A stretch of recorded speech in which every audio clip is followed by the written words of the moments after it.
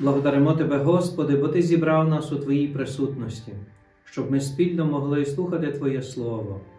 В ньому об'являєш Твою любов і даєш пізнати Твою волю. Витиши в нас інші голоси, які не є Твоїм голосом. І поки над нами не пролунало осудження за Твоє Слово, читане, але не прийняте, роздумуване, але не люблене, молене, але не бережене, споглядуване, але не сповнюване, зійшли Твого Святого Духа, що відкрив наш ум і зцілив наше серце, очистивши від скверни. Тільки тоді наша зустріч з Тобою у Слові і через Слово стане нашим наверненням і буде відновою союзу сопричастя з Тобою і Сином, і Святим Духом. Благословенний і прославлений будь Боже, на віки віків. Амінь. З першого послання святого апостола Павла до Тимотея. Сину Тимотею, багатим у цьому світі накажи, щоб не неслися думками вгору та не надіялися на тривке багатство, лише на Бога живого, який щедро дає нам усього до вжитку, щоб добро чинили, багатіли добрими ділами, були щедрими, ділилися радо і таким чином збирали собі скарб, добру підвалину на майбутнє, щоб осягнути життя вічне.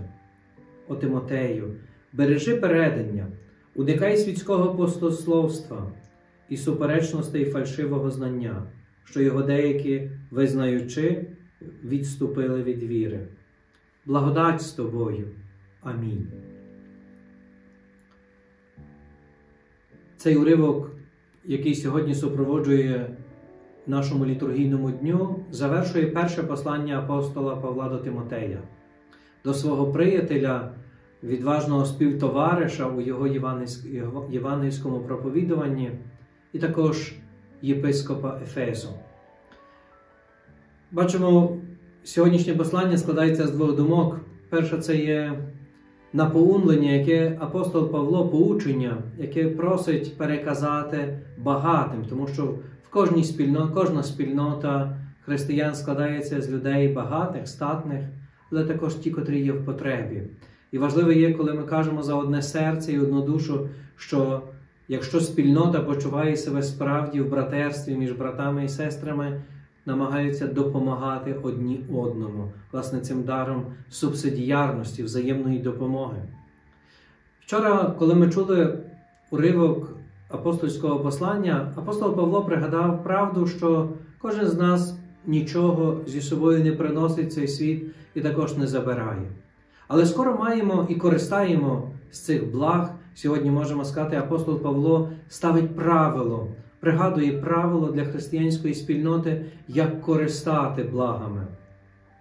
Коли вчора говорив про рабів, казав, щоб служили своїм своїм е, панам, так як братам, тому що е, є покликані до праці. Сьогодні говорить до багатих, каже, щоб не не переставали турбуватися і багатіти в добрі вчинки, щоб е, власне своїм багатством багатство було засобом, а не причиною їхнього вивищення, засобом збагачення і допомоги, тобто будування собі місця і вічної слави, аніж причиною вивищення, причиною е, власне, не, не до, більшої довіри в багатство, аніж уповання на Бога.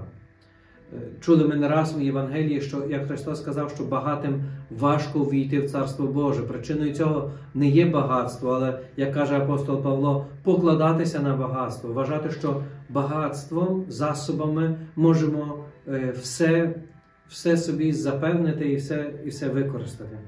І друга думка, на яку апостол Павло сьогодні звертає увагу, тобто це і слова прощання з Тимотеєм, в якому, якому запрошує пам'ятати, тобто тривати в пам'яті, пригадувати постійно Слово Боже, яке прийняв.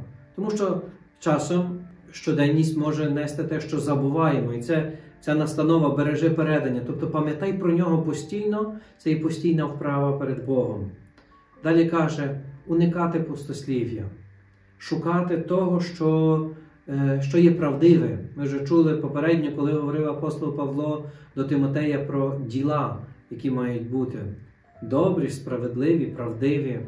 Не шукати якихось, каже, запрошує, не шукати чогось фальшивого, тому що шукаючи те, що є пусте, пусте і те, що є фальшиве, відводить від Христа, від Його науки, і, як каже апостол Павло, чинить відступниками, апостатами від віри, тільки відійшли від любові до Господа.